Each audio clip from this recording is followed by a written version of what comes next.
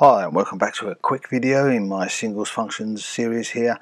Uh, today we're going to talk about uh, something that was asked on one of the forums I go on and it was how to insert a bar or a certain amount of time at the beginning of the song. Now this can apply to anywhere in the song so it's just inserting a silence here. So the function is insert silence. Now the quickest way to do this is to have your toolbar button open to get a quick access to this icon here, insert silence. Click on insert silence and there you have it. Oh, as quick as that. You can do that anywhere just by selecting a section here with the the, uh, the cycle uh, locator function here. Uh, insert silence and then you have it again.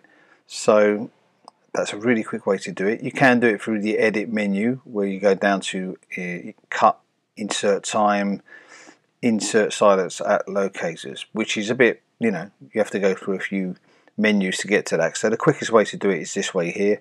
Insert silence straight on the toolbar. Okay I hope you enjoyed this video. I hope that was useful for you. If it was like subscribe and I will see you soon. Ciao